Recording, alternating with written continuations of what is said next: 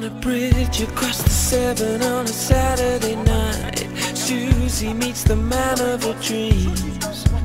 He says that he got in trouble and if she doesn't mind, he doesn't want the company.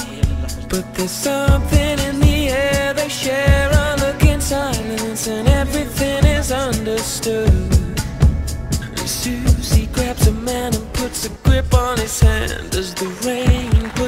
tear in his eye. She says, Don't let go. Never give up. It's such a wonderful life. Don't let go. Never give up. It's such a wonderful life.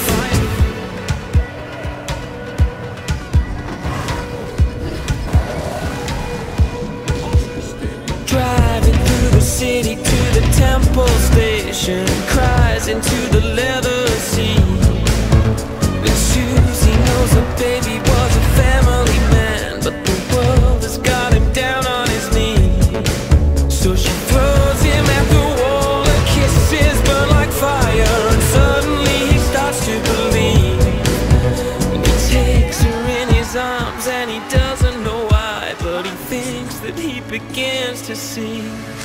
She says, don't let go. Never give up, it's such a